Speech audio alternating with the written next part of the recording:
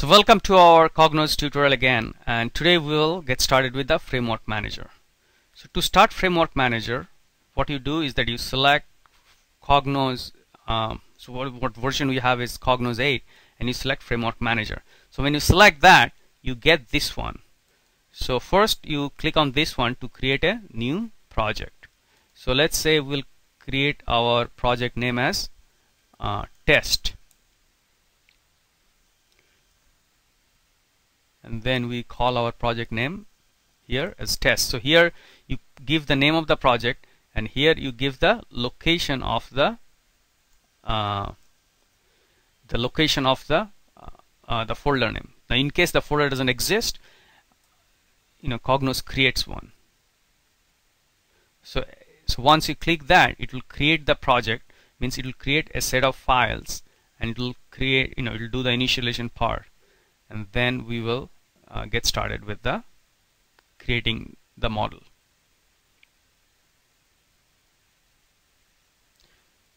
So I think we have some issues. I think uh, we got I got logged out. So let's uh, let me restart the framework manager.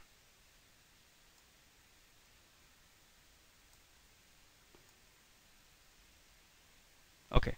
So first thing is to once you get connected with the framework manager. The first thing is you have to connect your database and then you will uh, get the all the information extracted from the uh, the database. So so let's select the data source and then we say next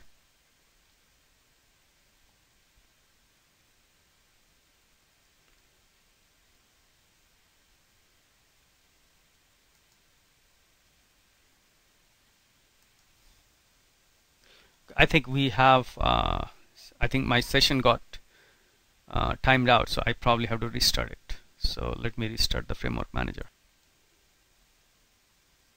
So I started the framework manager again and let me create a, a new project.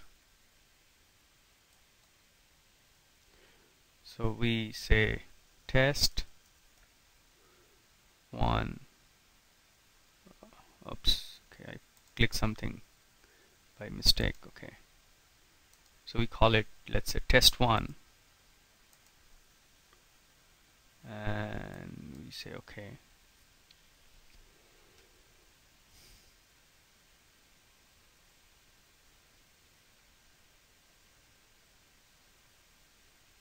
So here you choose the uh, language. So English is our default language. Uh, so and then we select the data source. Now here you have to create a new data source because I don't have an existing one. So here it'll this is a wizard which will walk you through a set of steps to create a new data source. So here again just to repeat what we are trying to do we are trying to connect to our SQL Server database and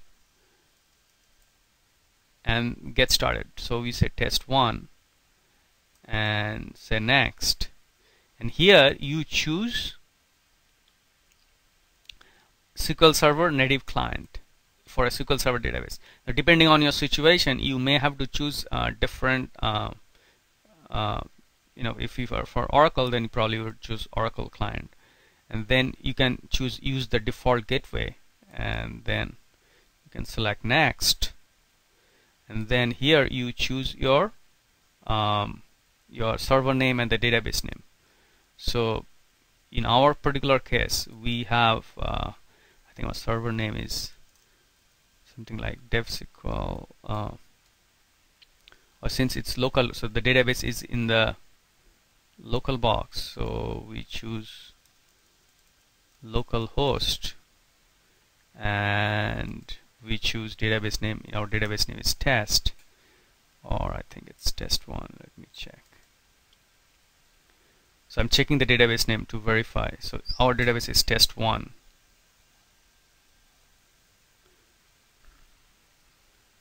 So we choose test1 and then other options you can leave them default. Um, in particular here you choose no authentication.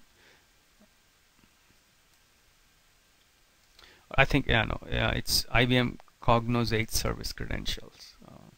Think that's what it is. So and then you can click test connection. And then you test. So this will verify that whether you can connect to the database successfully. So it's still testing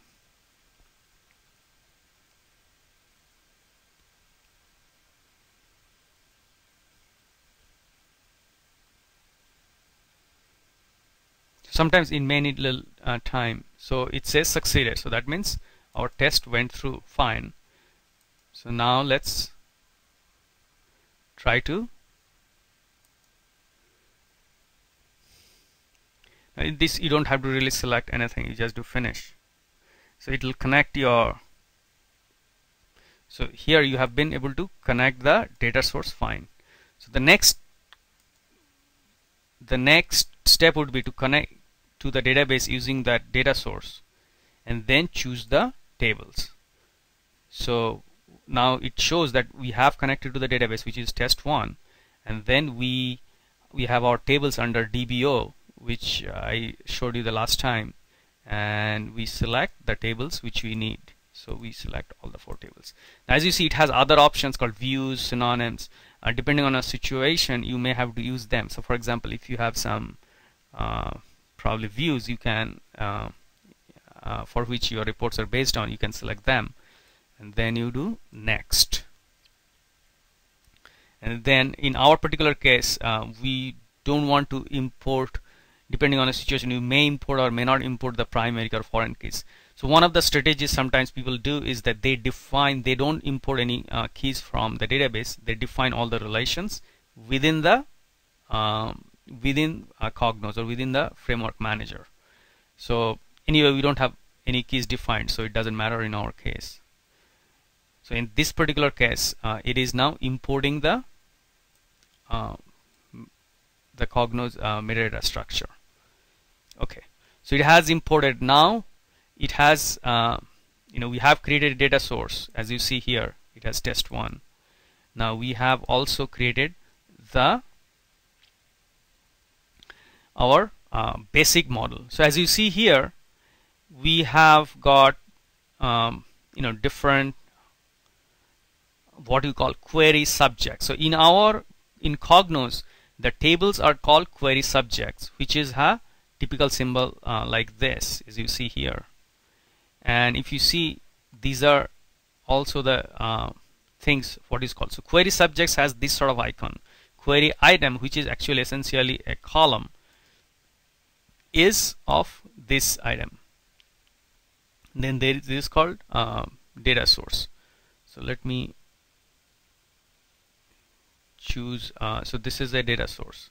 Now there are other uh, you know there are other different uh, types. So for example as you see there is a little L here. I'm not sure if uh, the screen is uh, magnified enough so that you can identify but here if you see this is a L. L is actually stands for measure. So um, so for example and we'll, we'll get to those concepts later on.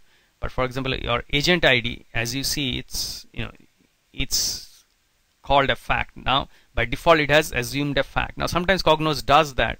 If it sees a number you know default data type as I'm sorry if it is a data type as number it will show fact. But it is in our particular case this is you know, this is an identifier. Now you may be wondering what what are these identifier facts and all this. Now if you remember from our first video we had you know we had our sales agent table connected with the sales table. So our facts are actually the sales data which is the volume I'm sorry the sales amount the date and etc now if the sales table is connected with the agent table with the agent ID column, then agent ID becomes an identifier. The name is an attribute. The region ID is again a identifier. So you may have to change this uh, things. Now manager ID is again a identifier. See the reason Cognos interpret these as facts because it just went by the column type. So if it says it's a it's a number, then it by default sometimes it puts a this thing uh, puts uh, puts a fact. So let's go to the sales table. Okay so sales table we have ID which is a um, again an identifier. So let's fix that.